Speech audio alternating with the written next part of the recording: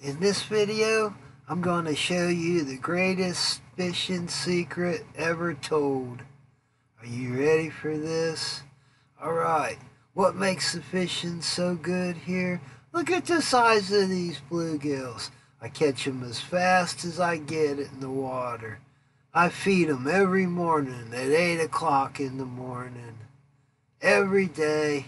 Do this for at least a week, maybe couple days longer, depending on what the area you live and the time of year. This is how it's done.